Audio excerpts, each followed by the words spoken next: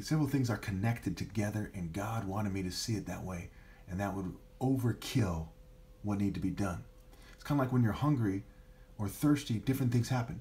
Your mouth might be dry, your body's telling you, hey, I need to drink. You might feel hot or whatever. Several things come together. So many things came together as patterns in nature and in logic and sense and says the attractive woman that you can't live without, you're dying without, and people are going to be suffered, uh, going to suffer for. It's like when people beat a dog, it becomes like an angry dog and wants to take it on the environment. When you separate God's son from a suitable helper, you're he- heaping coals on your head and your offspring, right? The, the spirit of vengeance is being aroused against you. Okay, so the attractive woman, okay, my rightful place, okay, uh, the the uh, the the need to show that woman godly sincerity in truth. Say this is who I really really am. I'm the top martial artist, and they say this is why.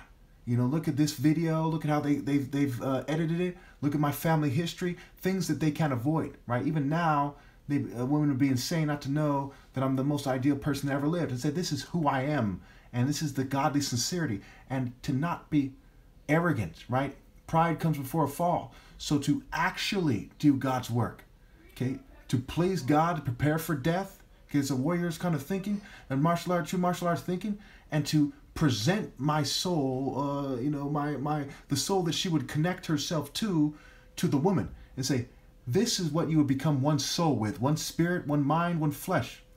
Okay, so it's connected. So it's not erotic desire where oh I like the way you look and all this nonsense. You know, it is she's beautiful inside and out, and she connects to me, and this is worth attaching yourself to and dying for and and forsaking you forget your people and your father's house connect yourself to me and god will look favorably upon you and you'll have achieved your purpose in life which is to obey god through the king this is why you see these liberals and these liars saying that there's no alpha. And you see conservatives confusing when an alpha is an angry conservative guy or some guy pretending he's sincere with their theater arts and so on and so forth and propaganda. Okay? So it's rightful place. It's true love, not settling. Okay, it's trying to help people out and say, What did you do as a top martial artist? You say, To hell with them? That's a calloused and uh, insensitive and deceitful and evil heart that says, Forget the poor, forget people, or sells his soul, or plays the game. You see what I'm saying? And we see the sky, we see the sun, we see things rising, they evaporate.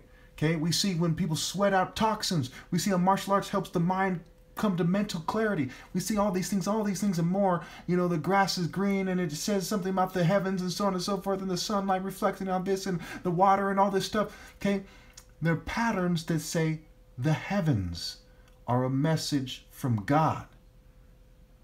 And the Son of God is the deliverer, the redeemer, the savior. And obviously, I'm the Son of God. And because these other groups, these white Jews and LGBT and token minorities, they try to use their Masonic arts and theater arts and social clubs and theaters and, and sabotage people and turn people into drug addicts, confuse you about who's who. Now look at the spectrum. What does it mean here? Focus, moral intensity, righteousness, justice, morality, right? This intense, right? The six four guy, not too tall, not too short, okay? The perfect height to say that guy right there is king. Now, just because you're not as tall as I am, and this, this, and this doesn't mean you shouldn't be doing the right thing and proud of doing the right thing.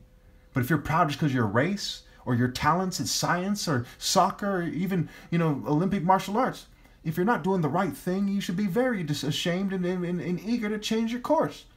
Okay? Because character, okay, justice, righteousness, moral precision, this is what makes you great. This is what makes you worthy. Okay, and this is why they're changing my image. They cause me to wear glasses.